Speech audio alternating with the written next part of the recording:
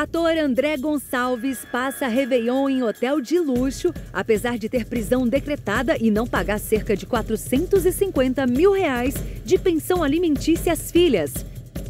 A polêmica dessa vez atingiu a atriz Teresa Seiblitz, que é a mãe de Manuela.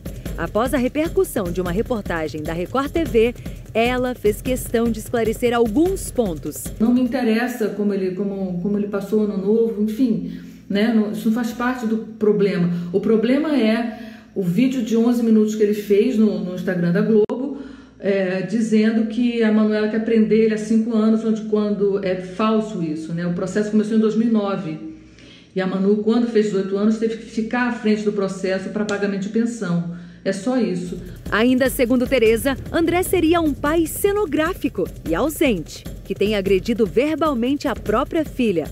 A dívida de André com Manuela chega a 109 mil reais, mas a filha já teria aceitado um acordo em que o pai se propôs a pagar 20 mil mais algumas mensalidades de mil reais.